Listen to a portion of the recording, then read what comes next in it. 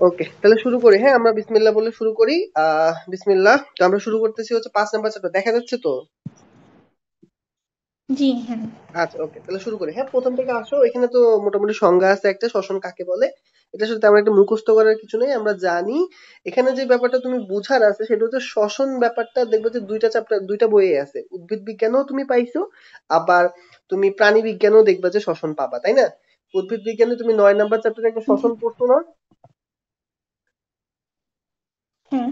হ্যাঁ আবার এখানেও তুমি শ্বসন পড়তেছো তার মানে এখানে শ্বসনে তাহলে দুইটা টাইপ আছে। এখানে টাইপটা কি? ব্যাপারটা হচ্ছে শ্বসনকে মূলত দুই ভাগে ভাগ করা যায়। একটা হচ্ছে অন্তঃশোষণ একটা হচ্ছে বহিঃশোষণ। জুলজিতে আমি এটা যেটা পড়াবো তোমাকে আজকে এটা হচ্ছে বহিঃশোষণ। বহিঃশোষণ কি? এই যে আমরা বাইরে থেকে অক্সিজেন গ্রহণ করি আর কার্বন ডাই অক্সাইড ত্যাগ করি। এই ফুসফুসের মধ্যে যে ঘটনাটা হচ্ছে, এটা হচ্ছে বহিঃশোষণ। বহিঃশোষণে কোনো শক্তি উৎপাদন হয় না। মানে এটিপি উৎপাদনের কোনো কাহিনী নেই।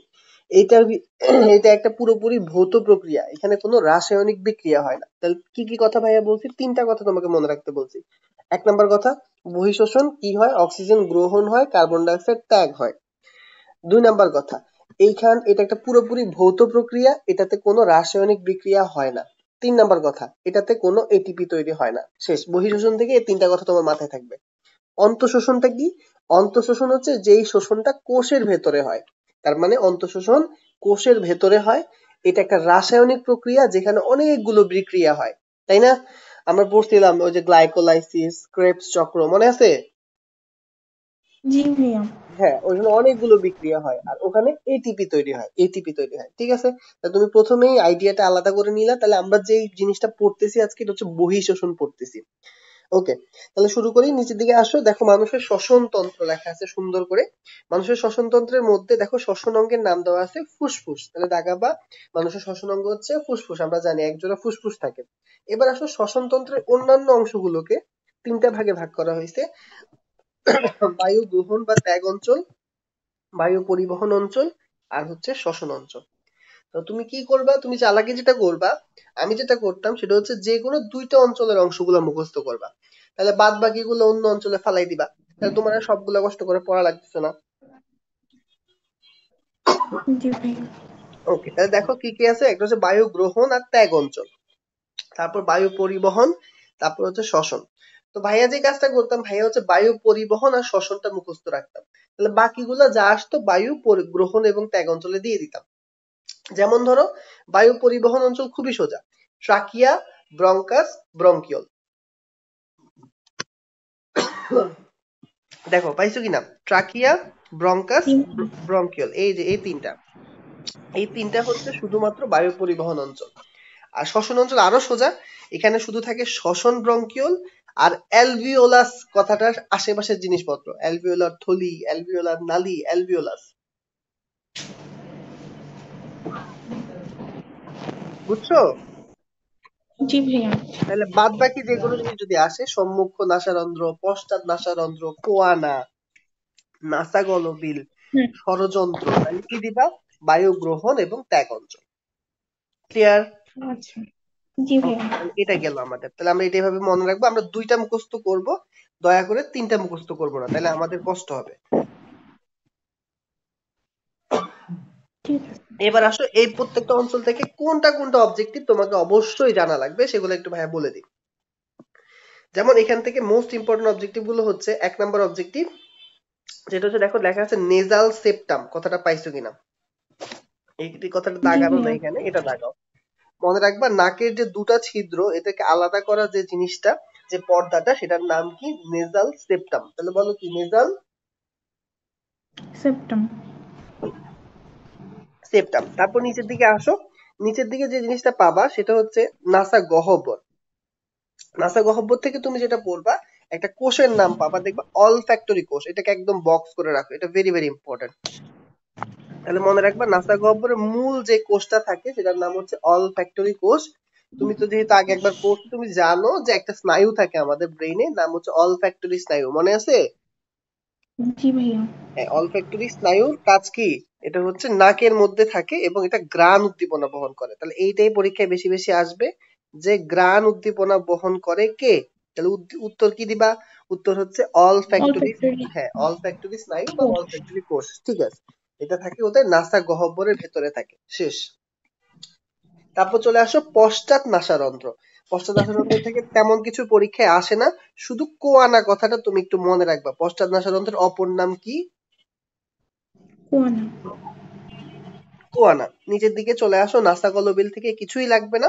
ষড়যন্ত্র। ষড়যন্ত্র থেকে যে অবজেক্টিভগুলো তোমার ভেরি ভেরি ইম্পর্টেন্ট একটা হচ্ছে তরুণাস্থি আছে তিনটা। তিনটা তরুণাস্থির নাম মনে রাখবা। Thyroid, cricoid, arytenoid. ভাই, এটাকে ক্যাট দিয়ে মনে রাখতাম। C A T cat. Cat দিয়ে তো বুঝো। Cricoid, arytenoid, thyroid. Cricoid, arytenoid, thyroid. Cat দিয়ে মনে রাখবা। এর মধ্যে থেকে তুমি যেটা ভালো মনে রাখবা, যেটা হচ্ছে থাইরয়েড। মনে রাখবা, থাইরয়েড তরুণাস্থি হচ্ছে সবচাইতে বড়। তাহলে মনে থাকবে কোন তরুণাস্থিটি সবচাইতে বড়? থাইরয়েড হ্যাঁ এই তরুণাস্থিটা বড় এবং এটা পুরুষের মধ্যে কি হয়? একটু উঁচু হয়ে থাকবে। দেখবে যে পুরুষ যখন ঢোক গিলে ঢোক গিলে গলার মধ্যে একটা জিনিস দেখা যায় ফুলে থাকে। ওই জিনিসটা হচ্ছে কি তরুণাস্থি থাইরয়েড তরুণাস্থি এবং এটাকে কি বলা হয়? এটাকে বলা হয় অ্যাডামস অ্যাপেল। কি বলা হয়? অ্যাডামস অ্যাপল অ্যাপল হ্যাঁ এটা মনে রাখবে অ্যাডামস অ্যাপল অ্যাডামস অ্যাপল জিনিসটা কোত্থেকে আসছে জানো? এটা গ্রিক একটা গল্প থেকে আসছে। যেমন আমাদের ধর্মে কি আছে? আছে না? যে আদম এবং হাওয়া আছে না? তো তেমন খ্রিস্টানদের ধর্মেও আছে অ্যাডাম এবং ইভ ওদেরও দেখা যাচ্ছে ওদের যে একদম ফার্স্ট পূর্বপুরুষ তাদেরকে ওরা ডাকে হচ্ছে অ্যাডাম এবং ইভ তো ওইখানে একটা গল্প আছে যেটা আমাদের আমাদের ইসলামের সাথেও মিলে। ওই গল্পটারই ওদের একটা বিকৃত ভার্সন আর কি বলা যায়। সেটা হচ্ছে ওই যে আদম হচ্ছে জান্নাতের একটা আপেল গাছ ছিল। ওই আপেল গাছের আপেল খাইতে আল্লাহ নিষেধ করছিল। কিন্তু আদম আর হাওয়া ওইটা, ওই নিষেধটা মানে নাই। ওই নিষিদ্ধ কাজটাই সে করতে গেছে, আপেলটা খাইছে। আপেলটা খাওয়ার পর সে গিলতেও পারে নাই। গলার মধ্যে আসার পরই মানে আল্লাহ তাকে শাস্তি দিয়ে পৃথিবীতে পাঠাই দিছে। ঠিক আছে? কাহিনীটা না তো ওই খ্রিস্টানরা ওই জিনিসটাই বিশ্বাস করে। ওরা বলে যে ওই আপেলটা গলার মধ্যে এখনও আটকায় আছে। এই জন্য গলার মধ্যে এরকম উঁচু দেখা যায়। এবার বুঝতে পারছ? আচ্ছা এটা হচ্ছে অ্যাডামস অ্যাপেল এটা একটু মাথায় রাখলে এটা একটু মাথায় রাখা জিনিস। আর আরেকটা শব্দ মনে রাখবে এখান থেকে এপিগ্লটিস আর ভোকাল কর্ড। এই দুটো জিনিস কি? একটা হচ্ছে এপিগ্লটিস। এপিগ্লটিস তুমি জানো ব্যাপারটা হচ্ছে আমাদের তো দুইটা নালী পাশাপাশি থাকে। খাবারটা যে যায় এখানে দুইটা নালী থাকে। একটার নাম হচ্ছে ধরো এটা হচ্ছে খাদ্য নালী। আরেকটার নাম শ্বাসনালী তাই তো? এখন যখন তুমি খাচ্ছ যদি খাবারটা শ্বাসনালীতে ঢুকে যায় তাহলে কি খারাপ হবে না ভালো হবে? খারাপ হবে। তো যখন তুমি খাচ্ছ তখন তোমার এই শ্বাসনালীটাকে বন্ধ রাখা দরকার হয়। তো সেই কাজটা করে এপিগ্লটিস ঠিক আছে? তার মানে খাদ্য গলদকরণের সময় শ্বাসনালীকে বন্ধ রাখে কে? উত্তর কি? এপিগ্লোটিস। এপিগ্লটিস সুন্দর। আর এখানে একটা তোমার কর্ড থাকে, নাম হচ্ছে ভোকাল কর্ড এটা হচ্ছে আমাদের সাউন্ড তৈরি করে, শব্দ তৈরি করে।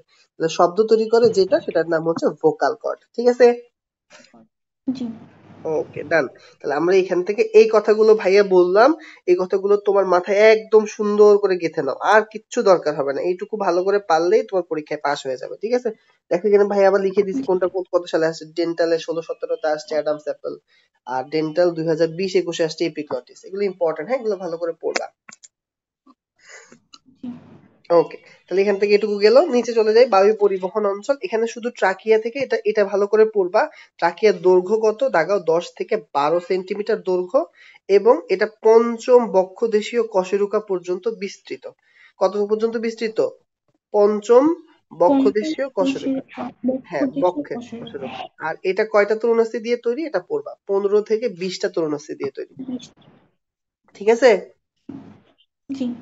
ওকে তাহলে এখান থেকে আমরা এইটুকু ভালো করে পড়ব আমরা পরের পৃষ্ঠায় চলে যাই চলো।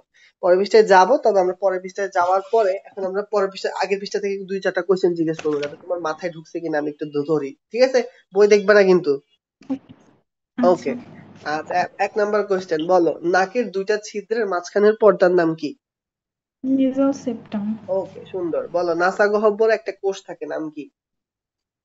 অলফ্যাক্টরি কোষ। সাব্বাস। তারপর বলো যে গ্রান উদ্দীপনা বহন করা কোন কোষের কাজ? আচ্ছা। পশ্চাৎ নাসারন্ধ্রের অপর নাম কি? কোয়ানা। আচ্ছা ঠিক আছে। তারপর বলবা ভাইয়াকে যে শ্বাসনালীতে খাবার যাওয়া বন্ধ করে কে? এপিগ্লোটিস। আচ্ছা তারপর ভাইয়াকে বলবা যে হচ্ছে তোমার যেটা পড়লাম আমরা পশ্চাৎ নাসারন্ধ্র। এই পশ্চাৎ নাসারন্ধ্র কোন অঞ্চলের অংশ? বায়ু পরিবহন অঞ্চল বায়ু গ্রহণ এবং ত্যাগ অঞ্চল নাকি শ্বসন অঞ্চল? পশ্চাৎ গ্রহণ ত্যাগ ত্যাগ অঞ্চল অঞ্চল। ঠিক আছে হ্যাঁ। পরিবহন অঞ্চলে তো আমরা পড়ছি এখন পড়ব ব্রঙ্কাস ট্রাকিয়া আর ট্রাকিওল ওগুলো পড়ব ঠিক আছে? ওকে তাহলে শুরু করি তাহলে আমরা এখন প্রথম অংশ পড়তেছিলাম যেটা হচ্ছে ট্রাকিয়া। ট্রাকিয়া দাগাও।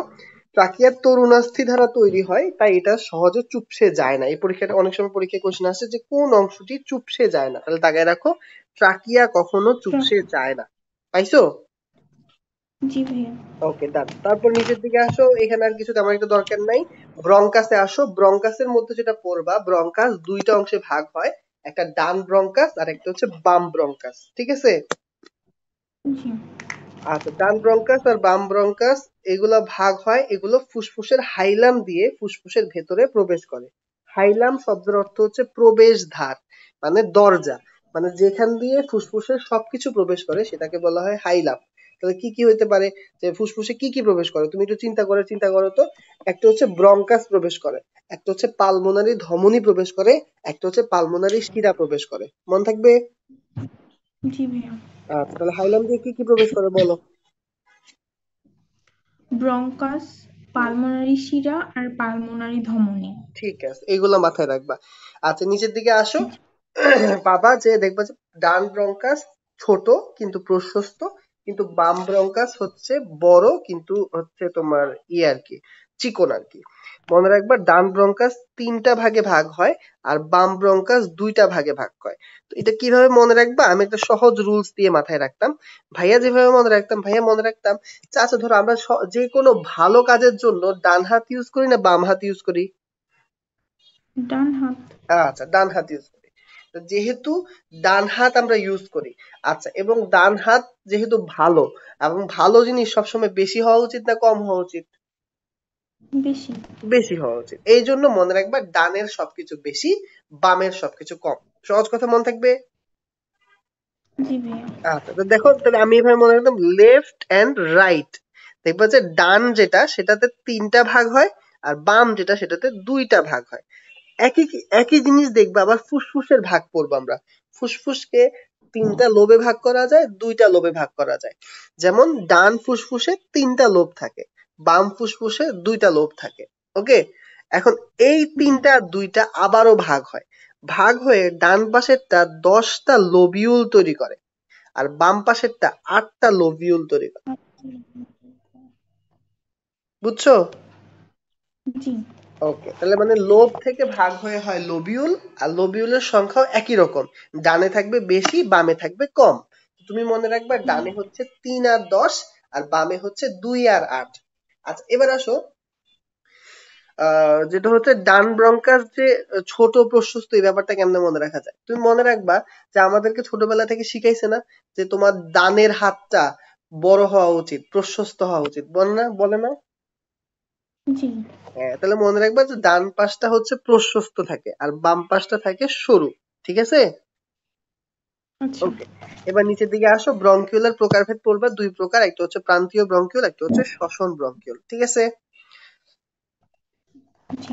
ওকে এখান থেকে এইটুকু বললে দ্যাটস ইনাফ আমাদের আর লাগতেছে না আমরা চলে যাই শ্বসন শ্বসন অঞ্চল থেকে একই কথা প্রথমে মাথায় রাখো ভাইয়া সেট করে দিই তোমার মাথার মধ্যে। প্রথমে একটা ডান ফুসফুস একটা বাম ফুসফুস। ডান হবে বড় বাম হবে ছোট। ডানের ওজন হবে বেশি, ডানের ওজন হবে ছয়শো পঁচিশ গ্রাম, বামের ওজন হবে কম, ওজন হবে পাঁচশো পঁয়ষট্টি গ্রাম। তাহলে কত বলছি? ছয়শো পঁচিশ, পাঁচশো পঁয়ষট্টি।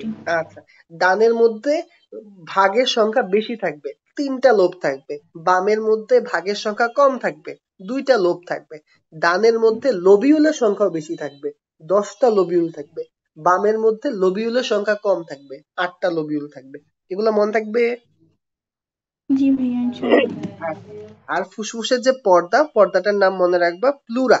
এখন দেখো প্লুরার আবার দুইটা লেয়ার থাকে একটা বাইরের দিকে একটা ভেতরের দিকে। যেটা ভেতরে থাকে সেটাকে বলবা ভিসেরাল যেটা বাইরে থাকে সেটাকে তোর বলবা কোনটা? সেটাকে বলবা প্যারাইটাল মন থাকবে?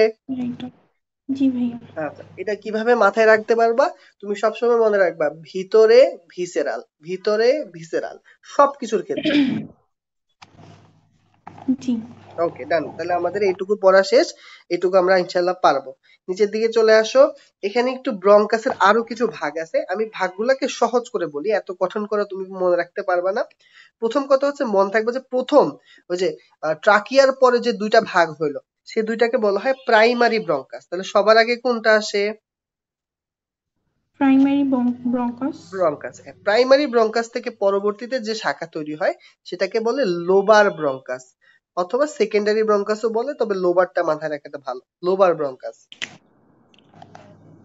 লোবার ব্রঙ্কাস থেকে পরবর্তীতে যে শাখাগুলো তৈরি হয়, সেটাকে বলে segmental bronchus segmental bronchus okay? তারপরে যে শাখাগুলো তৈরি হয়, তাদেরকে বলা হয় হচ্ছে প্রান্তীয় ব্রঙ্কাস প্রান্তীয়। তারপরে যে শাখা তৈরি হয়, তাকে বলা হয় শ্বসন ব্রঙ্কাস পারবা? জি ভাইয়া। এই ভাইয়া যেভাবে সিরিয়াল শিখাইছে এভাবে তোমার মাথায় সেট থাকতে হবে। প্রথম থেকে primary bronchus lower bronchus segmental bronchus প্রান্তীয় bronchus শ্বসন ব্রঙ্কাস মনে রাখবা প্রান্তীয় ব্রঙ্কাস পর্যন্ত হচ্ছে বায়ু পরিবহন অঞ্চল। যখনই শ্বসন ব্রঙ্কাস শুরু হয়ে গেল বা শ্বসন ব্রঙ্কিউল শুরু হয়ে গেল তখন হয়ে গেল কোন অঞ্চল? তখন হয়ে গেল শ্বসন অঞ্চল। বুঝছ? তাহলে এইটুকু মাথায় রাখবা। আর দেখো তো এটা দেখতে একটা উল্টানো গাছের মতো এই জন্য এটাকে শ্বসন বৃক্ষ বলা হয় পরীক্ষায় আসে। যে কেন এটা শ্বসন বৃক্ষ বলা হয়? কারণ এটা উল্টানো গাছের মতো দেখতে। ওকে ডান তাহলে এখান থেকে এইটুকু পারলে তোমার আলহামদুলিল্লাহ আর কিছু লাগবে না। এইটুকু উঠাইতে পারছ লিখতে পারছ না? জি ভাইয়া ওকে ডান তাহলে আমরা নেক্সটে চলে যাই চলো। ওকে আমরা যেহেতু নেক্সট পেজে চলে আসছি আমরা আগের পেজ থেকে দুই একটা কোশ্চেন জিজ্ঞেস করি দেখি তোমার মাথায় ঢুকছে কিনা। ঠিক আছে? বলো কোন অংশ কখনো চুপসে যায় না?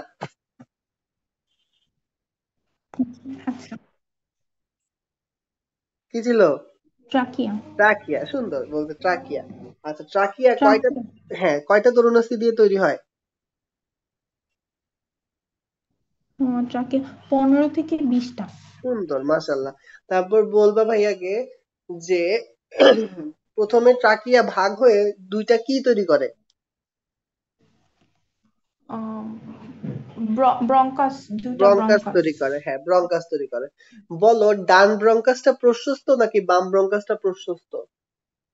ডান ব্রঙ্কাসটা ছোট এবং প্রশস্ত। প্রশস্ত সুন্দর। আচ্ছা এবার বলো যে ডান ব্রঙ্কাস যেটা প্রশস্ত সেটা পরবর্তীতে আবার কয়টা ভাগ হয়?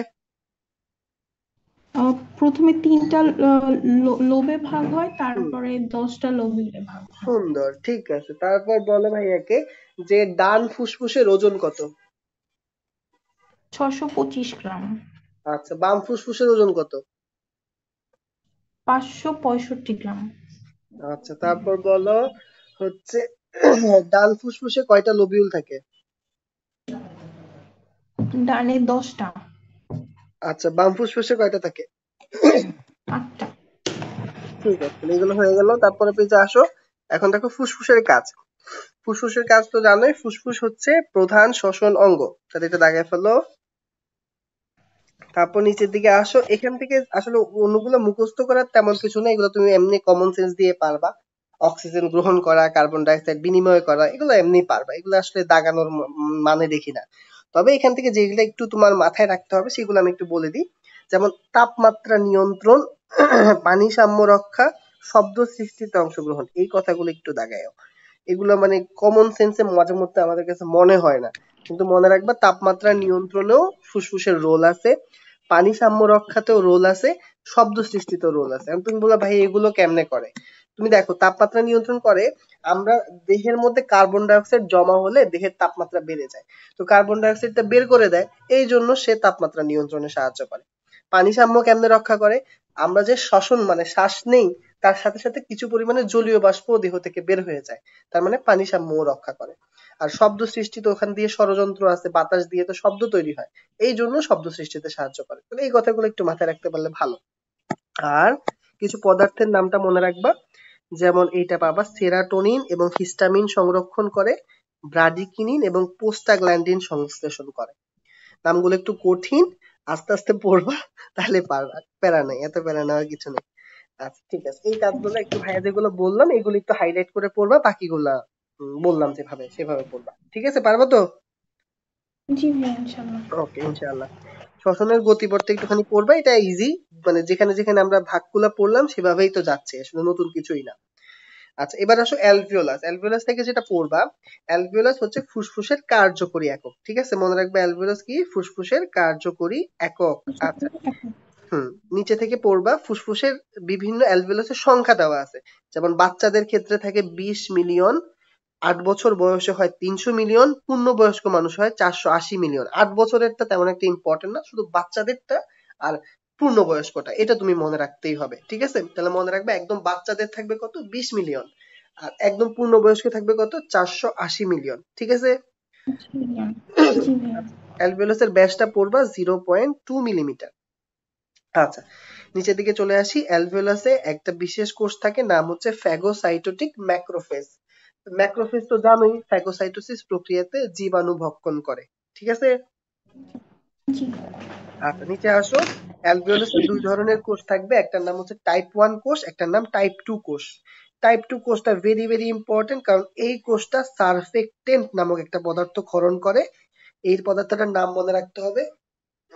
সারফেক্টেন্ট পদার্থটা কি করে? এটা ডিটারজেন্টের মতো কাজ করে এবং পৃষ্ঠ টান কমায়। ভাইয়া যেভাবে কথাগুলো মনে রাখতে বলছি সেভাবে মনে রাখো। তাহলে আবারও বলি টাইপ টু একটা কোষ থাকে এই কোষগুলো কি করে? সারফেক্টেন্ট ক্ষরণ করে। আমাদের বাসা বাড়িতে ডিটারজেন্ট হিসেবে কি ব্যবহার করো? হ্যাঁ সারফেক্সেল সারফেক্সেল এটা হচ্ছে সারফেক্টেন্ট ঠিক আছে? তো এই সারফেক্টেন্ট এটার কাজ হচ্ছে পৃষ্ঠ টান কমানো। মনে থাকবে? ওকে ডান এখন তুমি যে জিনিসটা মনে রাখবে এই সারফেক্টেন্ট থেকে এই সারফেক্টেন্ট ক্ষরণটা শুরু হয় কখন থেকে? এবং এই সারফেক্টেন্টের সাথে জড়িত আরেকটা অবজেক্টিভ আছে। দেখো, পরের পৃষ্ঠায় পাবা। সারফেক্টেন্ট ক্ষরণ শুরু হয় তেইশ সপ্তাহ বয়স থেকে। তাই চব্বিশ সপ্তাহ বয়সের আগে মানব ভ্রূণকে স্বাধীন অস্তিত্বের অধিকারী হিসেবে ধরা হয় না। ব্যাপারটা হচ্ছে কেমন? আমি বুঝাই বলি। ব্যাপারটা হচ্ছে সারফেক্টেন্ট যদি না ক্ষরণ হয়, তাহলে একটা বাচ্চা যদি পৃথিবীতে আসে সারফেক্টেন্ট ছাড়া সে প্রথম নিঃশ্বাসের সাথেই মারা যাবে। ঠিক আছে? এই জন্য কিছু কিছু দেশে বলে যেহেতু তেইশ সপ্তাহ পর্যন্ত সারফেক্টেন্ট হচ্ছে না এই বাচ্চাটা যদি জন্মও হয় সে তো পৃথিবীতে আসলে বাঁচবে না। তাহলে সে একটা স্বাধীন অস্তিত্বের অধিকারী না। এই জন্য ইউনাইটেড স্টেট সহ কিছু কিছু কান্ট্রিতে তোমার চব্বিশ সপ্তাহ পর্যন্ত ওরা অ্যাবর্শনকে লিগাল হিসেবে ধরে। মানে চব্বিশ সপ্তাহ মানে বুঝো? ছয় মাস। ছয় মাস পর্যন্ত অ্যাবর্শন করে লিগালাইজ করছে। কিন্তু বাংলাদেশ মানে আমরা ইসলামিক কান্ট্রি আমাদের দেশে কিন্তু এটা মানে লিগাল না। আমাদের মেডিকেলে মানে আমাদের ডাক্তারি প্রফেশনে তুমি তো ইনশাল্লাহ ঢুকবা, তো তুমি সেখানে দেখবা যে আমরা নয় সপ্তাহ পর্যন্ত অ্যাবর্শনকে আমরা লিগালাইজ করি। নয় সপ্তাহ পর্যন্ত বাচ্চার গ্রোথ খুবই ছোট। একদম ছোট থাকে, তখন অ্যাবর্শন মানে ওষুধের মানে কিটের ওষুধের মাধ্যমে করা যায়। তো বাংলাদেশে হচ্ছে নয় সপ্তাহ পর্যন্ত লিগাল তারপরে ষোলো সপ্তাহ পর্যন্ত ম্যাক্সিমাম করা যাবে, তবে সেটার অনেক শর্ত আছে, ঠিক আছে? তবে ওই একই কথা বললাম যে তাহলে তুমি যেটা মাথায় রাখবে তেইশ সপ্তাহ পর্যন্ত সারফেক্টেন্ট ক্ষরণ শুরু হয় চব্বিশ সপ্তাহ পর্যন্ত মানব ভ্রূণকে স্বাধীন অস্তিত্বের অধিকারী ধরা হয় না। পারবা? ডান এখান থেকে এটুকু পড়বা নিচে চলে আসো শ্বাস পেশি। শুধু পেশি দুটার নাম মনে রাখবা একটা নাম ইন্টারকোস্টাল পেশি একটা নাম ডায়াফ্রাম তাহলে মনে রাখবা শ্বাসের ক্ষেত্রে কয়টা পেশি সাহায্য করে বলো? কই গেলাম? দুইটা? হ্যাঁ দুইটা পেশি একটা হচ্ছে ইন্টারকোস্টাল পেশি আর একটা হচ্ছে ডায়াফ্রাম ঠিক আছে? আচ্ছা এখন এইটা একটু দাগাইও যে এইটা পরীক্ষায় আসে। শ্বাস ত্যাগের সময় নেটে প্রবলেম হচ্ছে? হ্যাঁ হ্যাঁ ওই সময় মনে নেটে প্রবলেম হয়েছে শোনা যাচ্ছিল না। ঠিক আছে সমস্যা নেই। আচ্ছা দেখো। শ্বাস ত্যাগের সময় এটি ধনুকের মতো বেঁকে যায় এই কথাটা দাগাইও।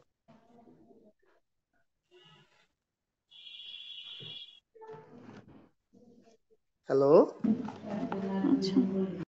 আচ্ছা তাহলে আমরা এই যে জায়গায় ছিলাম এই জায়গায় আসছি আবার। তাহলে পেশিগুলোর কথা বলতেছিলাম। ভাইয়া বলছিলাম যে দুইটা পেশি থাকে একটা নাম ডায়াফ্রাম একটা নাম ইন্টারকোস্টাল পেশি। জাস্ট এটা মাথায় রাখো।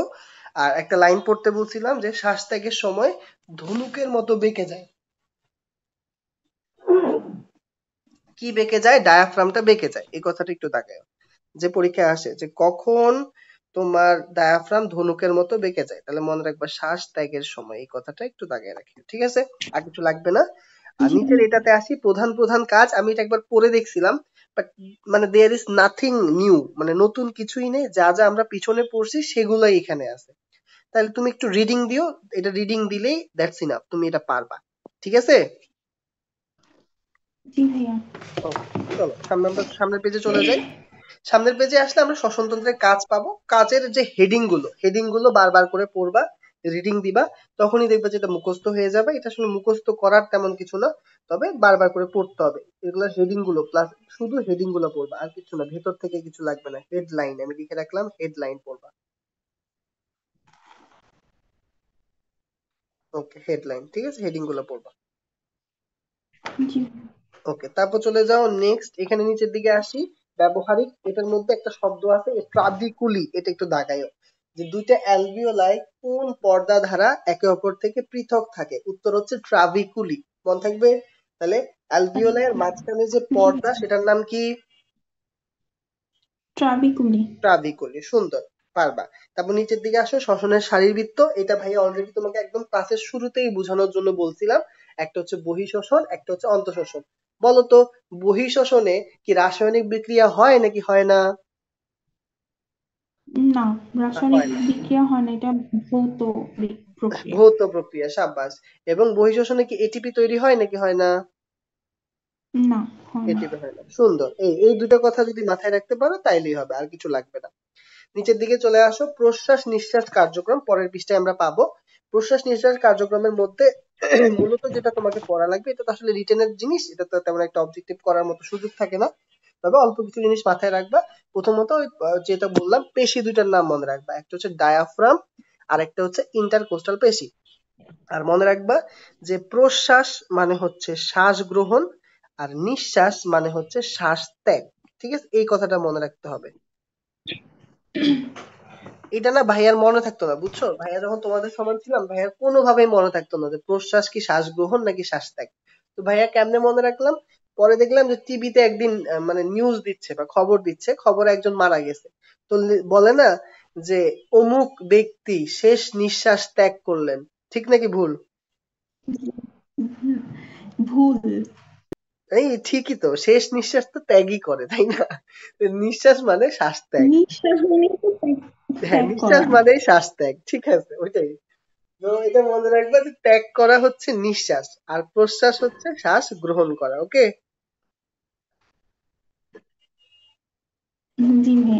আচ্ছা ঠিক আছে এখান থেকে এটুকু পড়বা তারপর চলে আসো শ্বাস গ্রহণ। শ্বাস গ্রহণের মধ্যে আসলে ভেতর থেকে আমি পড়ে দেখছি বাট তেমন একটা কোশ্চেন করার মতো সুযোগ থাকে না। তবে এটা একটু মনে রাখবা, যে প্রশ্বাসের সময় মনে রাখবা সবকিছু বেড়ে যায়। পার্শ্বীয় অগ্রপশ্চাৎ ব্যাস বেড়ে যায়। ইন্টারকোস্টাল পেশিকা সংকোচনের কারণে স্টারনাম উপরের দিকে উঠে যায় এবং অনুপ্রস্থ ব্যাসও বৃদ্ধি পায়। তার মানে সহজ বাংলা কথায় তুমি যেটা মনে রাখবা, যে প্রশ্বাসের সময় সবকিছু বৃদ্ধি পায়। শুধু একটা জিনিস ছাড়া সেটা হচ্ছে কি? সেটা হচ্ছে ভেতরের অভ্যন্তরীণ চাপটা কমে যায়। অভ্যন্তরীণ চাপটা কমে যাওয়ার কারণেই কিন্তু বাইরে থেকে ভেতরে বাতাস প্রবেশ করে। তাহলে সবকিছু বেড়ে যায় শুধু অভ্যন্তরীণ চাপটা কমে যায়। মন থাকবে মন থাকবে এই কথাটা? জি ভাইয়া। তাহলে সহজ কথা ভাইয়া যে সিম্পল করে শিখেছি যে প্রশ্বাসে সবকিছু বেড়ে যায় শুধু অভ্যন্তরীণ চাপ কমে যায়। মন থাকবে? জি ভাইয়া। আচ্ছা আর নিঃশ্বাসের মধ্যে দাগাবা এটা একটা নিষ্ক্রিয় প্রক্রিয়া এটাতে কোনো শক্তি খরচ হয় না এটা হচ্ছে মানে স্প্রিং এর মতো স্প্রিং যখন তুমি একবার প্রসারণ করো এটা অটোমেটিক সংকোচন হবেই তো ওরকম যেহেতু তুমি ওটাকে করছ এটা অটোমেটিক ব্যাক করবে। আচ্ছা এটার একটা ইংলিশ শব্দ আছে এটাকে বলে রিকয়েল এই প্রক্রিয়াটাকে কি বলে? রিকয়েল তারপর চলে আসো, এখানে আসো শ্বসন। শ্বসনের হারটা ভেরি ভেরি ইম্পর্টেন্ট দেখো ডেন্টাল সতেরো, আঠারোতে আসছে। একটা সাধারণ মানুষ শ্বসন হার হচ্ছে চোদ্দ থেকে আঠারো বার, আর নবজাতক শিশুর ক্ষেত্রে হচ্ছে চল্লিশ বার। ঠিক আছে। তারপর চলে আসো, প্রশ্বাস এবং নিঃশ্বাসের পার্থক্য। এই যে ভাইয়া যা যা বলছি, এর বাইরে নতুন কিছুই নেই। আমি এটা সবটা পড়ে দেখছি। তো এখানে তেমন কিছু দাগানোর মতো নাই। একটা রিডিং দিলেই চলবে। একটা রিডিং দিতে পারবা না? জি, ভাইয়া। ওকে এটুকু পর্যন্ত হইলে আমরা চলো দুই একটা করি দেখো পারো কিনা। আচ্ছা বলো অ্যালভিওলাস অ্যালভিওলাসের সংখ্যা পূর্ণবয়স্ক মানুষের কত মিলিয়ন ছিল? চারশো আশি মিলিয়ন। চারপাশ চারশো আশি মিলিয়ন। আর নবজাতক শিশুতে কত ছিল? বিশ মিলিয়ন। বিশ মিলিয়ন। সারফেক্টেন্ট কে ক্ষরণ করে টাইপ ওয়ান না type two? Type two septal কোষ। টাইপ টু সেপ্টাল কোষ ঠিক আছে। তারপর বলো সারফেক্টেন্ট কি কমায়? তরলের পৃষ্ঠটান। সাব্বাস পৃষ্ঠটান কমায়। কত সপ্তাহ বয়সে ক্ষরণ হয়? তেইশ সপ্তাহ বয়সে। তেইশ সপ্তাহ বয়সে ক্ষরণ হয়। আচ্ছা বলো শ্বাসপেশি কয়টা? দুইটা। শ্বাস ত্যাগের সময় কোনটা ধনুকের মতো বাঁকে? ডায়াফ্রাম। সাব্বাস হয়েছে। দ্যাটস ইট আর কিছু লাগবে না। আলহামদুলিল্লাহ, অনেক ভালো পড়া হয়েছে। এবার আসো এখান থেকে কি পড়বা? প্রশ্বাস নিঃশ্বাস কার্যক্রম। দাগাও, প্রশ্বাস নিঃশ্বাস কার্যক্রম দুইভাবে নিয়ন্ত্রিত হয়। স্নায়বিক নিয়ন্ত্রণ, রাসায়নিক নিয়ন্ত্রণ। এখান থেকে এত বেসিকে আমাদের এত কিছু জানা লাগবে না। আমরা জাস্ট মাথায় রাখব যে শ্বাস প্রশ্বাস নিয়ন্ত্রণে দুইটা জিনিস কাজ করে। একটার নাম মেডুলা একটার নাম পন্স এখন যেটা পড়বা সেটা হচ্ছে দাগাও যে শ্বাস প্রশ্বাস কেন্দ্র মানে প্রশ্বাস এবং নিঃশ্বাস কেন্দ্র অবস্থিত হচ্ছে মেডুলাতে আর নিউমোট্যাক্সিক্স আর অ্যানিউস্টিক সেন্টার অবস্থিত হচ্ছে পন্সে। এখন তুমি বলবা, ভাইয়া, এই দুইটা সেন্টার মানে আলাদা আলাদা কেন? ব্যাপারটা হচ্ছে, আমি বুঝায় বলি জিনিসটা কেমন? জিনিসটা হচ্ছে তুমি শ্বাস নিবা নাকি নিবা না, বা শ্বাস নিবা নাকি ত্যাগ করবা, সেটা নিয়ন্ত্রণ করে মেডুলা। কিন্তু তুমি কতবার শ্বাস নিবা? তুমি কি জোরে নিবা নাকি আস্তে নিবা? সেটা কন্ট্রোল করে পন্স মন থাকবে? জি ভাইয়া। বুঝছ? মানে মেইন শ্বসন কেন্দ্রটা হচ্ছে মেডুলা কিন্তু তোমার কতবার জোরে নিব না আস্তে নিব এটা নিয়ন্ত্রণ করে হচ্ছে পন্স নিউমোট্যাক্সিক আর অ্যানিউস্টিক এটা করে। নিউমোট্যাক্সিক হচ্ছে শ্বসন হারকে বাড়াই দেয় অ্যানিউস্টিক হচ্ছে শ্বসন হারকে কমাই দেয়। আর মেডুলা এটা হচ্ছে প্রশ্বাস নিবা নাকি নিঃশ্বাস নিবা সেটাকে কন্ট্রোল করে। মন থাকবে?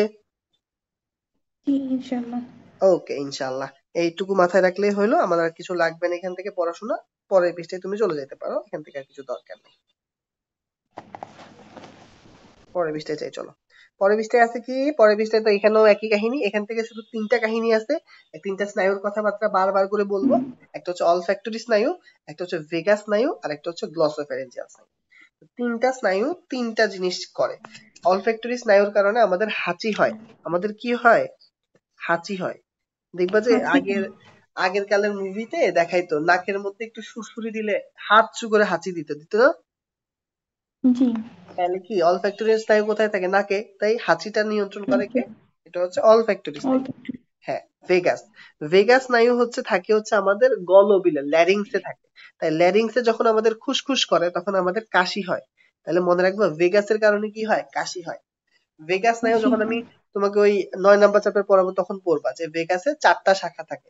চারটা শাখা চারটা গুরুত্বপূর্ণ স্থানে থাকে। একটা হৃৎপিণ্ডে থাকে, একটা পাকস্থলীতে থাকে, একটা ফুসফুসে থাকে আর একটা থাকে ষড়যন্ত্র বা ল্যারিংসে ওই যে ল্যারিংসে যে ভেগাসটা ওইটা যদি কোনো কারণে সুড়সুড়ি খায়, তখন তুমি কি দিবা? কাশি।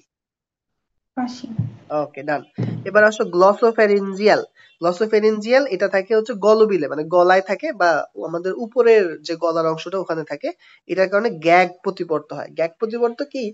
দেখবা যে অনেক সময় তুমি যদি উল্টাপাল্টা কিছু খেয়ে ফেলো তখন তুমি জোর করে বমি করার চেষ্টা করো। তখন তুমি কি করো? আঙ্গুল দিয়ে গলার উপরের অংশে এরকম নাড়া দাও। তখন তুমি বমি করে দাও। দাও না? হ্যাঁ ওইটাই হচ্ছে গ্যাগ প্রতিবর্ত ঠিক আছে? ঠিক আছে। ওকে ডান তাহলে মনে রাখবা গতে গ্লস গতে গ্যাগ ভেগাস হচ্ছে কাশি অলফ্যাক্টরি হচ্ছে হাঁচি। দ্যাটস ইট আর কিছু পড়া দরকার এখান থেকে এটুকু পড়বা, রাসায়নিক নিয়ন্ত্রণে আসো। রাসায়নিক নিয়ন্ত্রণের তিনটা কথা মূলত আছে। মনে রাখবা তিনটা জিনিস দ্বারা রাসায়নিক নিয়ন্ত্রণ হয়। কার্বন ডাই অক্সাইড অক্সিজেন আর হাইড্রোজেন তো মনে রাখবা আমাদের শরীরের জন্য ভালোকে, এই তিনটার মধ্যে থেকে ভালো কোনটাকে বলবা? কার্বন ডাই অক্সাইড নাকি অক্সিজেন নাকি হাইড্রোজেন অক্সিজেন। সাব্বাস। তাহলে ভালো হচ্ছে হাইড অক্সিজেন। তার মানে অক্সিজেন যদি কোনো কারণে কমে যায় কার্বন ডাইঅক্সাইড যদি কোনো কারণে বেড়ে যায় কার্বন ডাইঅক্সাইড খারাপ। হাইড্রোজেন যদি কোনো কারণে বেড়ে যায় তাহলে বডি কি চেষ্টা করবে? যে অক্সিজেনটাকে বাড়াইতে হবে কার্বন ডাইঅক্সাইড আর হাইড্রোজেনকে কমাইতে হবে। তখন শ্বসন হার বেড়ে যায়। এই সিম্পল ফান্ডা মনে রাখতে পারলেই হবে আর কিছু লাগবে না। কি বলছি ভাইয়া? অক্সিজেন কমে গেলে কার্বন ডাইঅক্সাইড বেড়ে গেলে হাইড্রোজেন বেড়ে গেলে শ্বসন হার বেড়ে যায়। হ্যাঁ. এইটুকু যদি তোমার মাথায় থাকে তোমার আর এই অবজেক্টিভ ভুল হবে না। আর মনে রাখবে এগুলাকে কন্ট্রোল করে যেই মানে রিসেপ্টরগুলো সেগুলো কোথায় থাকে? সেগুলো থাকে ক্যারোটিড আর অ্যাওর্টিক রক্তনালীতে থাকে। এইটুকু তুমি মনে রাখবা আর কিছু তোমার এখান থেকে পড়া লাগবে না। মনে থাকবে? জি ভাইয়া। ডান তাহলে চলো আমরা নেক্সটে চলে যাই। বিসমিল্লাহ। আমরা এর পরের বিষয়ে যাই। পরের বিষয়টা কি আছে? গ্যাসীয় অক্সিজেন এবং কার্বন ডাই অক্সাইড পরিবহন। এটা ইম্পর্টেন্ট এটা থেকে বেশ কিছু অবজেক্টিভ পরীক্ষায় আসে। তাহলে এখান থেকে আমি বলি যে কোনটা কোনটা ভালো করে পড়বা। প্রথমত অক্সিজেন পরিবহন। মনে রাখবা অ্যালভিওলাসে অ্যালভিওলাসে অক্সিজেনটা কোথা থেকে আসতেছে? পরিবেশ থেকে। তাহলে অ্যালভিওলাসে অক্সিজেনের চাপ কেমন থাকবে? বেশি না কম?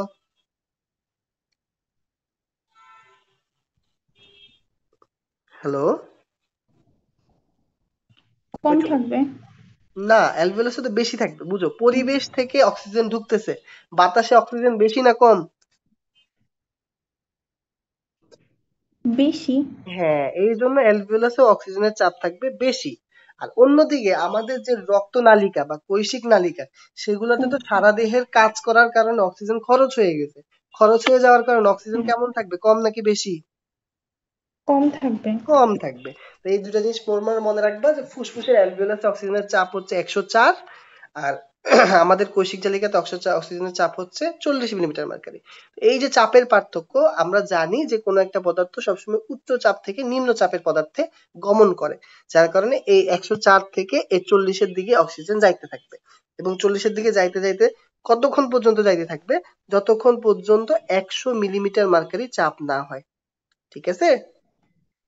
জি ভাইয়া। দ্যাটস ইট এইটুকু মনে রাখবা। আর অক্সিজেন পরিবহন হয় দুই ভাবে। একটা হচ্ছে ভৌত দ্রবণ আর একটা হচ্ছে রাসায়নিক দ্রবণ।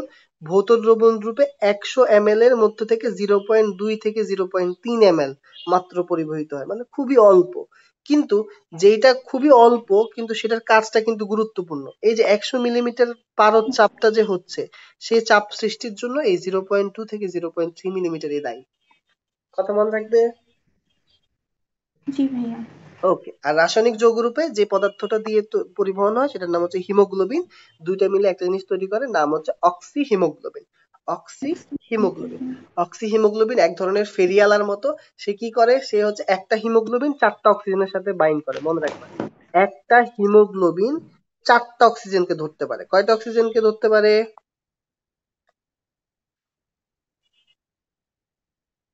হ্যালো চারটা। চারটা। তাহলে এই অক্সিজেন গুলোকে ধরে ধরে সে কি করে? সে হচ্ছে অক্সিজেনের সাথে বাইন্ড করে। হ্যাঁ অক্সিজেনকে বাইন্ড করে এবং বাইন্ড করে ওটাকে পরিবহন করে। পরিবহন করে সে ধরো রক্ত দিয়ে যাইতে থাকে। যেখানে অক্সিজেনের অভাব দেখে সে আস্তে করে অক্সিজেনটাকে ওখানে ড্রপ করে দেয়। মানে অনেকটা ফেরিয়ালার মতো। যে অক্সিজেন লাগবে ভাই অক্সিজেন লাগবে বলে চলতে থাকে। যেখানে অক্সিজেন লাগবে বলে সেখানে অক্সিজেন দিয়ে দেয়। বুঝছ? জি ভাইয়া। ওকে ডান তাহলে এটা মনে রাখবা। নিচের দিকে আসে কার্বন ডাইঅক্সাইড পরিবহন, এটাও তিন ভাবে হয়। একটা হচ্ছে ভৌত দ্রবণ, শুধু পার্সেন্টেজ পড়বা, পাঁচ পার্সেন্ট আর মনে রাখবা যে পানি এবং কার্বন ডাইঅক্সাইড বিক্রিয়া করলে কার্বনিক অ্যাসিড তৈরি হয়, যেখানে যে এনজাইমটা ব্যবহৃত হয়, তার নাম মনে রাখতে হবে carbonic anhydrase carbonic anhydrase okay আরেকটা যৌগ হচ্ছে কার্বন কার্বোমিনো যৌগ। কার্বোমিনো যৌগ দুই রকম হয়। সেটা হচ্ছে কার্বন ডাইঅক্সাইড আর হিমোগ্লোবিন যদি একসাথে যুক্ত হয় তখন হয় কার্বোমিনো হিমোগ্লোবিন। আর কার্বন ডাইঅক্সাইড আর যদি প্রোটিন একসাথে যুক্ত হয় তাকে বলা হয় কার্বোমিনো প্রোটিন। বুঝছ? জি ভাইয়া। কার্বোমিনো হিমোগ্লোবিন আরেকটা কি বলো? Carbamino protein. প্রোটিন। হ্যাঁ এই এই দুটা মনে রাখতে হবে। তারপর চলে আসো। এই কার্বোমিনো যৌগ রূপে কত পার্সেন্ট বাহিত হয়? মাত্র সাতাইশ পার্সেন্ট সাতাইশ পার্সেন্ট ঠিক আছে। এবার আসো বাইকার্বনেট এটাই হচ্ছে সবচেয়ে বেশি বাহিত হয়। মনে রাখবা কত পার্সেন্ট পঁয়ষট্টি পার্সেন্ট এখন বাইকার্বনেট দুই রকম হয়। সোডিয়াম বাইকার্বনেট হিসেবে বাহিত হয় প্লাজমা মানে রক্তরসের মধ্যে আর পটাশিয়াম বাইকার্বনেট হিসেবে বাহিত হয় লোহিত রক্তকণিকার মধ্যে। মন থাকবে? ডান এইটুকু মাশাআল্লাহ সুন্দর করে পারবা। নিচের দিকে চলে আসো। নিচের দিকে আসলে এখানে একটা দাগাবা একটা বার্গারের নাম আছে, নাম হচ্ছে হ্যামবার্গার তো হ্যামবার্গার শিফটের মধ্যে মনে রাখবা যে কি হয়? হ্যামবার্গার শিফটে হচ্ছে বাইকার্বনেট আয়ন প্লাজমা থেকে লোহিত রক্তকণিকায় ক্লোরাইড প্রবেশ করে। মানে এই, আমি এভাবে সহজে মনে রাখতাম যে বাইকার্বনেট বের হয়ে যায় আর ক্লোরাইড মানে ক্লোরাইড বের হয়ে যায় আর বাইকার্বনেট ভেতরে প্রবেশ করে ঠিক আছে? মানে এই জিনিসটা যে ট্রান্সফারটা ক্লোরাইড আর বাইকার্বনেটের মধ্যে এটাকে বলা হয় ক্লোরাইড শিফট আর এটা আবিষ্কার করছে বিজ্ঞানী হ্যামবার্গার। এই জন্য এটাকে বলা হয় হ্যামবার্গার শিফট। মনে থাকবে? ওকে ডান। তোমার তো আসলে ওই রিটেন রিটেন হলে আরেকটু বিস্তৃত পড়াইতাম যে কীভাবে ঢুকে কীভাবে আসে। এখন তো রিটেন নাই এখন জাস্ট অবজেক্টিভ এটাই অ্যাডমিশনের মজা যে অবজেক্টিভ মনে রাখতে হবে। আচ্ছা। ওকে এটুকু গেল।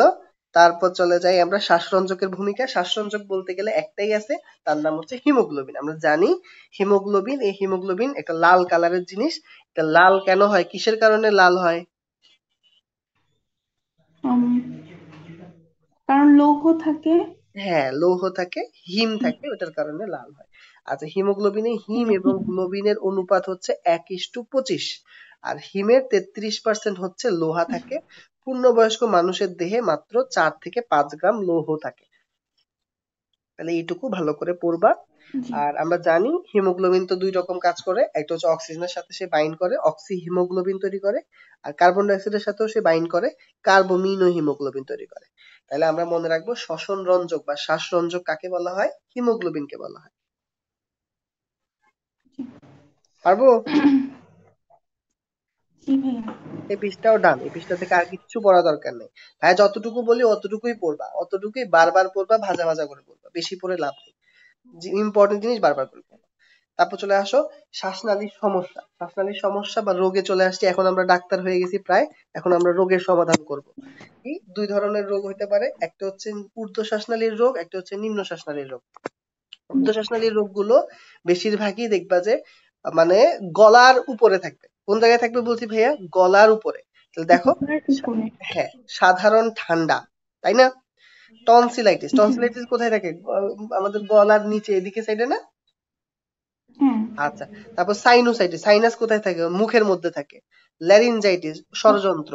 তারপর ওটাইটিস মিডিয়া কান। তার মানে কি? মানে সহজ বাংলা কথা গলার উপরের সাইডে যে কোনো ইনফেকশন হইলে সেটা শ্বাসনালীর ঊর্ধ্ব শ্বাসনালীর ইনফেকশন আর নিম্ন শ্বাসনালীর ইনফেকশন হচ্ছে শ্বাসনালী বা ফুসফুসে যদি কোনো ইনফেকশন হয়, ঠিক আছে?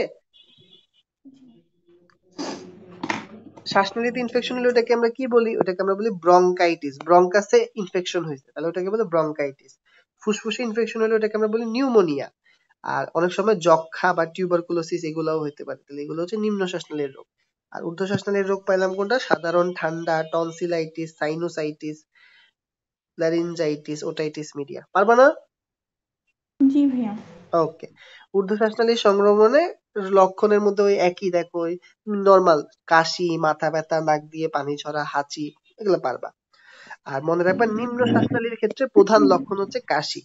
নিম্ন শ্বাসনালীর প্রত্যেকটা রোগের ক্ষেত্রে দেখবা যে কাশি হবেই। কাশি হচ্ছে কমন ওকে এবার আসো sinusitis is very very important আমাদের মুখে দেখো চিত্রটার মধ্যে দেখা যাচ্ছে যে চার জোড়া সাইনাস থাকে। প্রত্যেকটা সাইনাসের নাম প্লিজ দয়া করে মনে রাখবা। একটা হচ্ছে ম্যাক্সিলারি একটা হচ্ছে ফ্রন্টাল একটা হচ্ছে এথোময়েড আর একটা হচ্ছে স্পেনয়েড সাইনাস তাহলে বলো কি কি সাইনাস আছে? Maxillary frontal. এথময়েড আর স্পেনয়েড হ্যাঁ এভাবে মনে রাখতে পারো। আমরা এভাবে মনে রাখতাম ফেমস দিয়ে। ফেমাস বলি না আমরা অনেক মানুষকে। ওরকম আমরা মনে রাখতাম যে ফেমস। ফেমস দিয়ে হচ্ছে ফ্রন্টাল এথোময়েড ম্যাক্সিলারি স্পেনয়েড মানে ভুল হয় না আর কি মনে থাকে সবসময় শব্দগুলো মাথায় রাখতে সহজ সুবিধা হয়। এভাবে মনে রাখতে পারো। তাহলে ফেমস দিয়ে কি কি বলো? Frontal ethmoid maxillary frontal maxillary আর স্পেনয়েড স্টেরয়েড সুন্দর। আর জীবনে ভুলবা না এখন দেখো কোনটা কোথায় থাকে? ম্যাক্সিলারি। ম্যাক্সিলা যেখানে থাকে এটা গালে থাকে। তাহলে মনে রাখবা ম্যাক্সিলারি গালে থাকে। ফ্রন্টাল চোখের উপরের অংশে থাকে। এথোময়েড দুই চোখের মাঝখানে বা পেছন দিকে থাকে। স্ফেনয়েড এটাও হচ্ছে এথোময়েডের পিছনে থাকে, ঠিক আছে? আচ্ছা তাহলে মানে মনে রাখবে সাইনোসাইটিস হলে কি হয়? ব্যাপারটা বোঝার চেষ্টা করো। সাইনাস জায়গাটা, এই জায়গাটাতে আসলে থাকবে কি? থাকার যেটা থাকবে সেটার নাম হচ্ছে বাতাস। মানে আল্লাহ তাআলা সিস্টেমটা এমন করে দিছে যে সাইনাসের মধ্যে বাতাস ধারা পূর্ণ থাকবে। কিন্তু যদি কোনো কারণে ওখানে ইনফেকশন হয় বা ব্যাকটেরিয়া ভাইরাস বা ছত্রাক আক্রমণ করে, তখন ওই জায়গাতে পানি জমে যায়, পানি। ওই পানিটা জমে যায় ওই পানিটা পরে পু- মানে পচে পচে ওটা পুজে পরিণত হয় বা সর্দিতে পরিণত হয়। এই যে জিনিসটা হয় এটাকে বলা হয় সাইনোসাইটিস এবার বুঝতে পারছ? সাইনোসাইটিস আমাদের আমাদের সারা জীবনে আমাদের হয় নাই। এরকম কি কেউ আছে যে সর্দি কাশি হয় নাই? না। হয়েছে সবারই হয়েছে তাহলে তুমি তো লক্ষণ জানো। তো তোমাকে তুমি এটা তুমি নিজের কমন সেন্স লাগাবা যে কি কি হয়। মাথা ব্যথা হয় নাক দিয়ে পানি পড়ে সর্দি হয় খাঁচি হয় ঠিক আছে? এগুলো তো মুখস্থ করা লাগবে? না ভাইয়া। এমনি পারবে এমনি পারবে। এগুলো মুখস্থ করার দরকার নেই। মুখস্থ করতে বেশি ব্রেনকে চাপ দিবা না তাহলে ব্রেন কষ্ট পাবে। ব্রেনকে এত কষ্ট দেওয়া যাবে না। যেখানটা বুঝে বুঝে পারা যায় সেটা বুঝে বুঝে পার করে দিবা। আচ্ছা এবার আসে অ্যাকিউট সাইনোসাইটিস মনে রাখবা এটা চার থেকে আট সপ্তাহ যদি ডিউরেশন হয়। মানে দুই মাসের মধ্যে যদি ঠিক হয়ে যায় তাহলে সেটাকে আমরা বলি হচ্ছে অ্যাকিউট সাইনোসাইটিস কিন্তু কার কোনো কোনো মানুষ দেখবা যাদের দুই মাসের বেশি সময় ধরে সাইনোসাইটিস চলতে থাকে। তাদেরকে আমরা বলি ক্রনিক সাইনোসাইটিস আচ্ছা এবার এটা পড়বা। সাইনাসের যেগুলো বিভিন্ন ভাইরাসের দ্বারা হয়, এই নামগুলো একটু মনে রাখবা। যেমন human respiratory syncytial virus parainfluenza virus metapneumovirus আর স্ট্রেপ্টোকক্কাস নিউমোনিয়া হিমোফাইলাস ইনফ্লুয়েঞ্জা এগুলো কয়েকবার পড়তে পড়তে পড়তে পড়তে দেখবে যে একটা সময় যায় পারা যায়। প্রথম প্রথম একটু কষ্ট হয়, মাথার একটা একটু কষ্ট হয়। এটা ভয় পাওয়ার কিছু নেই। আচ্ছা আর নাকে যদি পলিপ সৃষ্টি হয় তা মনে রাখবা পলিপ কি? পলিপ হচ্ছে অতিরিক্ত মাংস। কারও কারও নাকের মধ্যে কি হয়? অতিরিক্ত একটা মাংসের পিণ্ড তৈরি হয় সেটাকে আমরা বলি পলিপ। আচ্ছা তারপর নিচের দিকে পড়বা কি? নাকের হাড় যদি বাঁকা থাকে তখন এটা হইতে পারে সিস্টিক ফাইব্রোসিস এই রোগটা থাকলে হইতে পারে। তারপর ইউস্টেশিয়ান নালীর যদি কোনো অস্বাভাবিকতা থাকে, এগুলো তো হইতে পারে। এই কয়টা একটু বেশি ইম্পর্টেন্ট এগুলো একটু মাথায় রাখার চেষ্টা করো। রোগের লক্ষণ একদমই পড়বা না। তুমি এটা পারো। এই জন্য আমি বলব যে দরকার নাই রিডিং দিলে দিতে পারো, না পড়লে চলো। জটিলতা জটিলতা থেকে এটা ভালো করে পড়বা। এখন ব্যাপারটা বুঝো। এটা কি? মানে ওরা সাইনাসগুলো যেখানে থাকে, তার কাছাকাছি কি আছে? এক আছে চোখ, একটা আছে মস্তিষ্ক। যদি কোনো কারণে, যদি অনেক দিন ধরে কারও সাইনোসাইটিস হয় হাড্ডি ফুটা করে যদি এই পুষগুলো আমার চোখে চলে যায় বা আমার ব্রেনে চলে যায় তখন সমস্যা হতে পারে। তো মস্তিষ্ক এবং চোখে চলে গেলে পেরি অরবিটাল অরবিটাল সেলুলাইটিস হইতে পারে এবং ব্রেনে যদি চলে যায় সেক্ষেত্রে মারাও যাইতে পারে খুব খারাপ হয়ে যেতে পারে। তাহলে এটা একটু মনে রাখবে periorbital orbital cellulitis orbital cellulitis মানে চোখের প্রদাহ। অরবিটাল সেলুলাইটিস মানে কি বলো?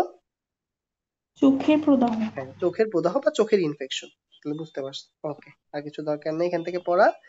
চলে যাই পরে। অ্যাকিউট সাইনাসাইটিস এর চিকিৎসায় ওষুধের তেমন একটা দরকার হয় না, এটা অটোমেটিক নিজে নিজেই ভালো হয়ে যায় সাত দিনের মধ্যে। তবে অনেক সময় আমরা ওষুধ খাইতে বলি, যাই হোক, যদি ঠিক না হয়।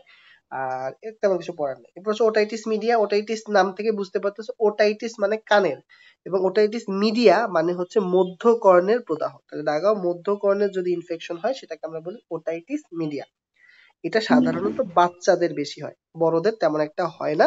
এটা দুই ধরনের হইতে পারে একটা হচ্ছে স্বল্পস্থায়ী একটা হচ্ছে দীর্ঘস্থায়ী ওই একই রকম। দেখো অ্যাকিউট যদি দুই থেকে চার সপ্তাহের মধ্যে সুস্থ হয়ে যাও আর যদি চার সপ্তাহ বেশি সময় ধরে হয় তাহলে সেটাকে ক্রনিক ওটাইটিস বলে। এখন দেখো তো এটার সাথে সাইনোসাইটিস এর পার্থক্য কি? অ্যাকিউট সাইনোসাইটিস কয় মাস কয় সপ্তাহের মধ্যে হইলে? চার থেকে আট। মধ্যে। এটা হচ্ছে দুই থেকে চার। বুঝছ? হ্যাঁ খেয়াল রাখবে এটা ভুল করবা না কিন্তু। অ্যাকিউট সাইনোসাইটিস হচ্ছে চার থেকে আট। অ্যাকিউট ওটাইটিস মিডিয়া হচ্ছে দুই থেকে চার। আর দীর্ঘস্থায়ীটা ওখানে হচ্ছে দুই মাসের বেশি এখানে হচ্ছে চার সপ্তাহ বেশি। আচ্ছা। এবার রোগের কারণ দেখো একই। সাইনোসাইটিস আর তোমার এটার ভাইরাস ব্যাকটেরিয়ার নাম একই। Respiratory syncytial virus influenza virus streptococcus pneumoniae একই সব একই ঠিক আছে? আচ্ছা সাথে মনে রাখবা যে কোনো কারণে অ্যাডিনয়েড ফুলে গেলে এই অ্যাডিনয়েড নামটা মনে রাখবা নাকের ভেতরে আমাদের একটা লসিকা গ্রন্থি থাকে ওই গ্রন্থিটার নাম হচ্ছে অ্যাডিনয়েড। যদি কোনো কারণে এই অ্যাডিনয়েডটা ফুলে যায় তখন কিন্তু এই ওটাইটিস মিডিয়া হতে পারে তো এটা মনে রাখবা অ্যাডিনয়েড। আর এটুকু গেল এগুলো দরকার নেই। বাচ্চাদের অনেক সময় হয় কীভাবে? বাচ্চাদেরকে কি করে? ওই মায়েরা দুধ খাওয়ানোর সময় কানের ভিতরে দুধ ঢুকে যায়। ওই, ওইটা ঢুকে যেয়ে পানিটা তো থেকে যায়, ওইটা পুষতে পুষতে তো অনেক সময় হয়ে যায়। এই জন্য বাচ্চাদের এটা বেশি হয়। আচ্ছা তারপর হচ্ছে ওটিটিস মিডিয়া কাদের বেশি হয়, এটা একটু ভালো করে পড়বা। এটা থেকে আমি বলে দিচ্ছি, কোনটা কোনটা বেশি ইম্পর্টেন্ট যে চার মাস থেকে চার বছরের বাচ্চা ডে কেয়ার সেন্টারে যে সকল বাচ্চা থাকে, নিচু অবস্থানে শুইয়ে বোতলে দুধ খাওয়ানো হয় যে সকল বাচ্চাকে। এই তিনটা কথা মনে রাখবা, আর কিছু দরকার নেই। আচ্ছা বাচ্চাদের ক্ষেত্রে লক্ষণ এখন বাচ্চা তো আর বলবে না যে মা আমি কানে আমার কানে ব্যথা করতেছে। বাচ্চা কি এটা বলতে পারে? বাচ্চা কি করে? বাচ্চা কান ধরে টানাটানি করে আর কান ধরে কান্নাকাটি করে। এই দুইটাই ওর কাজ আর কোনো কাজ নেই আর তার একটু জ্বর হইতে পারে। শেষ। এইটুকু মনে রাখবা বয়স্কদের ক্ষেত্রে তো বুঝোই কানে ব্যথা হবে ভো ভো করবে ঝিমঝিম করবে কানে কম শুনবে মুখস্থ করার দরকার নেই। আচ্ছা জটিলতাও দরকার নেই উপদেশটা একটু পড়বা। উপদেশটা হচ্ছে অপ্রয়োজনে কান চুলকানো যাবে না ঠান্ডা না লাগানো সাঁতার না কাটা কান পরিষ্কার রাখা কানে পানি ঢুকতে না দেওয়া। পরীক্ষা আসে নিচের কোনটি ওটিটিস মিডিয়ার জন্য তোমার উপদেশ নয়। ঠিক আছে? আচ্ছা। উপদেশটা পড়তে বলছি আর এখানে কাদের বেশি হয় এই দুটো একটু ভালো করে পড়বা। ওকে পরের পৃষ্ঠায় আসো, মনে রাখবে বাচ্চা কালে একটা ভ্যাকসিন দেওয়া যায় নিউমোনিয়া থেকে বাঁচার জন্য, এটা একটু দিতে হবে পিসিবি ভ্যাকসিন এটা শর্ট ফর্ম হচ্ছে পিসিভি নিউমোকক্কাল কনজুগেট ভ্যাকসিন বা পিসিবি ভ্যাকসিন এটা থেকে ওটাইটিস মিডিয়া থেকে সে প্রতিরক্ষা তৈরি করতে পারে, আর বাচ্চাদের যখন এই রোগটা হয়, তখন ওষুধ হিসেবে ওষুধ হিসেবে তো অ্যান্টিহিস্টামিন দেওয়া যেতে পারে প্যারাসিটামল দেওয়া যেতে পারে, এগুলো দরকার নেই, তেমন একটা পড়ার নিচ থেকে এটা পড়বা যে কান থেকে যদি পুঁজ পড়ার মতো ঘটনা হয়, তখন ইএনটি বিশেষজ্ঞ টিম্পানোস্টমি টিউব নামক একটা যন্ত্র ব্যবহার করে চিকিৎসা করে। টিউবটার নাম মনে রাখবা টিম্পানোস্টমি টিউব আর কানের পর্দা যদি ছিদ্র হয়ে যায়, তখন ওটাকে ঠিক করার জন্য একটা অপারেশন করা হয়, নাম হচ্ছে মাইরিঙ্গোপ্লাস্টি মনে থাকবে? তাহলে কানের পর্দার ছিদ্র ঠিক করার অপারেশনের নাম কি? মাইরিঙ্গোপ্লাস্টি। হ্যাঁ মাইরিঙ্গোপ্লাস্টি এটা মনে রাখবা। কানের পর্দার ছিদ্র ঠিক করার মাইরিঙ্গোপ্লাস্টি। এবার চলো আমরা একটু সিগারেট পড়াশোনা করি ধূমপাই এটা দেখো সিগারেটের শলাকায় চার হাজার রাসায়নিক পদার্থ থাকে যার মধ্যে থেকে সবচেয়ে খারাপ পদার্থগুলোর নাম মনে রাখবা nicotine carbon monoxide hydrogen cyanide. তবে সবচেয়ে বিখ্যাত কোনটা? নিকোটিন তাই তো? জি ভাইয়া। ওকে তাহলে এখান থেকে এটা মনে রাখবা। ধূমপাই, অধূমপাইয়ের ফুসফুসের পার্থক্য এত বেশি ডিটেলস মুখস্থ করার কিছু নাই। শুধু তিনটা কথা ভাইয়া বলব, সেই তিনটা কথা ভালো করে মনে রাখবা। এক নাম্বার কথা, যেটা হচ্ছে তোমার যে অধূমপায়ীর ফুসফুস, সেটা সকল অংশ স্বচ্ছ, পরিষ্কার এবং কালো থাকবে। কিন্তু ধূমপায়ীর ফুসফুসের জায়গায় জায়গায় দেখবা সাদা সাদা অসংখ্য ছোপ দেখা যায়। এটা একটা গেল। এক্সরেতে এটা পার্থক্য। দুই নাম্বার কথা, এখানে এমফাইসিমা হবে না। কিন্তু এইখানে মানে যেটা ধূমপায়ী তাদের এমফাইসিমা দেখা যাবে। এমফাইসিমা জিনিসটা কি? আমরা তো জানি অ্যালভিওলাস জিনিসটা কি একটা পটকার মতো বা একটা বেলুনের মতো? এই বেলুনগুলা যদি ফুটা হয়ে যায় বা ছিদ্র হয়ে যায় তখন কি এগুলা বাতাস মানে আদান প্রদান করতে পারবে? না। এই এই বেলুনগুলা ফুটা হয়ে যাওয়া বা ছিদ্র হয়ে যাওয়াটাকেই বলে এমফাইসিমা। বুঝতে পারছি? আচ্ছা আর যেটা অধূমপায়ী তাদের ফুসফুসে পানি জমবে না কিন্তু ধূমপায়ীর ফুসফুসে অনেক সময় দেখা যায় পানি জমতে দেখা যায়। এই তিনটা কথা মনে রাখবে। পারবা? জি ভাইয়া। এইটুকু সুন্দর করে পড়বা। আর একটু পরের পৃষ্ঠায় আছে দেখি। আহ পরের পৃষ্ঠায় এখানে রোগের নাম কিছু আছে। এখান থেকে যেটা পড়বা সেটা বলে দি ভাইয়া।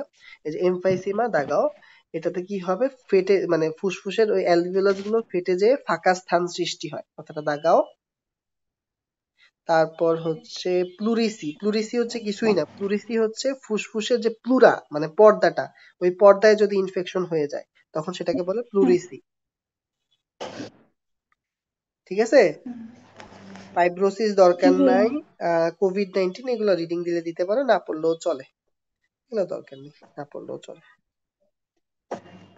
আচ্ছা। ওকে এটা গেল, এখান থেকে নাথিং ভেরি ইম্পর্টেন্ট তারপর কৃত্রিম শ্বাস প্রশ্বাস নাথিং ভেরি ইম্পর্টেন্ট এটা পরীক্ষা আসে না শুধু সিপিআর এর ফুল ফর্ম পড়বা। কৃত্রিম শ্বাস প্রশ্বাসের পদ্ধতির নাম কি? সিপিআর এটার ফুল ফর্ম অবশ্যই পড়বা। কার্ডিও পালমোনারি রিসাসিটেশন মনে থাকবে?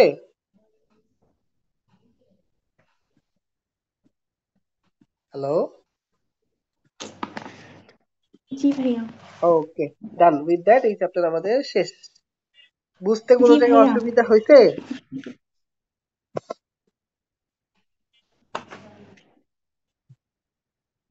না ভাইয়া। ওকে তাহলে বেস্ট অফ লাক ভালো করে পড়াশোনা করো। কালকে চ্যাপ্টারের পরীক্ষা নিব ভাইয়া। কয়দিন সময় নিবা এই চ্যাপ্টার শেষ করার জন্য? কয়দিন সময় নিবা তুমি? ভাইয়া আপনি যখন বলবেন তখনই দিব সমস্যা নেই। তাহলে একটাই দিন নাও কালকের দিন নাও পরশু দিন এটার একটা পরীক্ষা নিব ভাই। আচ্ছা ঠিক আছে ওকে তাহলে বেস্ট অফ লাক সুন্দর করে পড়ো। আচ্ছা এর মধ্যে তোমার মানে কোনো অসুবিধা হইলে ভাইয়াকে অবশ্যই জানাবা ঠিক আছে? জি ভাইয়া ইনশাল্লাহ আর ভাইয়া ওই যে জিকে আর ইংলিশ পড়াটা একটু দিয়ে হ্যাঁ জিকে রং ইংলিশ আমি হয়তো তোমাকে বই পাঠিয়ে ওটা দিচ্ছি। ওইটা থেকে আমি বলে দিব যে এত পেজ থেকে এত পেজ পড়ে রাখবা ঠিক আছে? আচ্ছা, ঠিক আছে ভাইয়া। ওকে ডান ওকে আল্লাহ হাফেজ হ্যাঁ? ভাইয়া পরশু দিন কখন পড়াতে পরশুদিন আমি পরশুদিন পড়াবো কিনা আমি আগে ওই দিন জানাব আগের দিন জানাই দিব না। পরশুদিন টাইম পাই কিনা দেখি। ও, জি ভাইয়া ইনশাল্লাহ ঠিক আছে ওকে আল্লাহ হাফেজ হ্যাঁ টাটা আচ্ছা